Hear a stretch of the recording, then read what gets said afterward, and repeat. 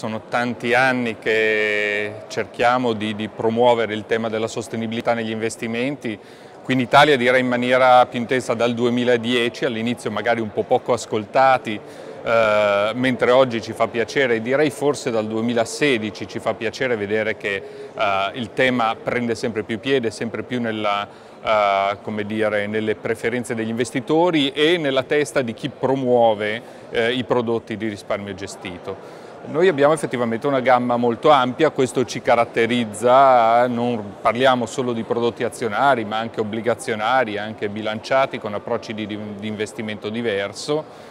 e abbiamo un punto forte, un punto di forza nel, nell'azionario tematico ambientale con un partner che si chiama Impact Asset Management che è specializzato e da molti anni rappresenta un'eccellenza nel settore. C'è stato sicuramente un momento di svolta con eh, la conferenza delle parti di Parigi. La conferenza delle parti di Parigi per la prima volta ha bucato un po' lo schermo in termini di visibilità di alcuni temi che stanno diventando, ahimè, anche tristemente e dolorosamente noti un po' a tutti gli investitori, no? perché i disastri ambientali si stanno moltiplicando con una certa frequenza. Questo eh, rende la questione della sostenibilità sul versante ambientale eh, sempre più eh, visibile e, e, e comunicabile anche all'investitore finale. Secondo me questo ha certamente fatto un po' la differenza, tant'è che noi vediamo che sul mondo diciamo, più della distribuzione, più retail,